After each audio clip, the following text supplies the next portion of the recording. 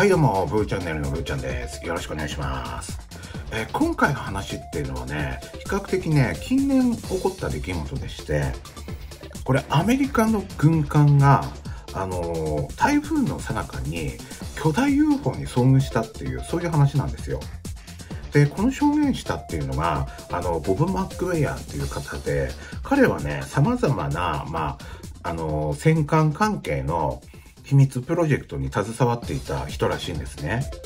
で、以前にも原子力潜水艦に、まあ、同乗して、その際に海中で、あの、驚くべきその音速で移動する謎の物体に遭遇した。そんな話もしてます。で、今回の話っていうのは、2008年のことでして、ブルーブリッジっていうそういう戦艦に、まあ、同乗していた時の話。彼の話ではね、あの、ブルーブリッジに乗ってたんですが、ちょうどその時台風が直撃してて、周りはね、すごい風と雨だったらしいんですよ。にもかかわらず、なぜかね、ブルーブリッジの甲板とかには一切雨とかが落ちてこなかったんだそうです。で、おかしいなと思って、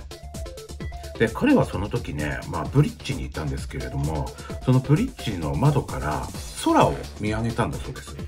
そしたらね、あの、上空にまず奇妙な光が見えたらしいんですよ。で、よくよく見てみると、なんとそれはね、船の上空を覆う巨大な UFO だっていうことが分かったんですよ。船を覆ってしまうほどの UFO ですよ。どれだけの規模だったのか。だから、雨が全く甲板とかに落ちてこなかったのは、その UFO の下にいたから。つまり UFO が傘みたいな役割をして雨を遮っていた。そういったわけなんですよ。それほど大きな UFO がすぐ上空にいたわけ。で、その物体っていうのは、なんかね、黄色いラインみたいなのが入っていた。そういった平面型の、まあ、円盤型の UFO だったらしいんですよね。で、それをね、まあ、じーっと見ているとね、あの、彼が、あの、見ていた時、一瞬ね、光がバーって強くなったような感じがしたと。で、その後、その UFO はまっすぐ上昇していって、そのまま飛び去っていった、そうなんですよ。で、よくね、世の中で目撃されてる UFO っていうのはせいぜいね、数メートル規模。まあ、乗用車とか、そんな感じぐらいのものが多いんですけれども、今回のやつはね、規模がね、桁違い。だから、これ私の勝手な想像なんですけど、これもしかしたら、その UFO たちの母艦なんじゃないかな。そう思ってます。普通の UFO たちがその母艦に、まあ、収納されていると。要は、それ自体がもう基地みたいな感じなんじゃないかなって私思ってるんですよ。で、実はね、過去にね、こういったもう超巨大な UFO があの、街中に現れたとかっていう話ないわけじゃないんです。いくつかね、そういった話はあるんですよ。で、別に、それに攻撃されたとか、そういった話ではないんですが、やっぱり、大きさが大きさだから、当然たくさんの人に目撃されてるわけ。で、今回のその巨大 UFO に関しても、気づいたのは、彼だけじゃないと思うんです。船に結構な人乗ってるはずだから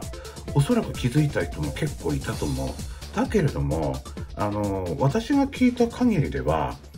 すごくこれに対してわーわーキャーキャー騒ぎ立てたとかスクランブルがかかったとかそういった話って全く聞いてないんですよ。だからそれが逆におかしいなと私は思ってるんです。普通さあの戦艦とかにもレーダーとかそういったものを積んでますよね。普通あのある程度未確認の飛行物体であれ、まあ、戦艦であれある程度の距離まで近づいた時点でレーダーに捉えられて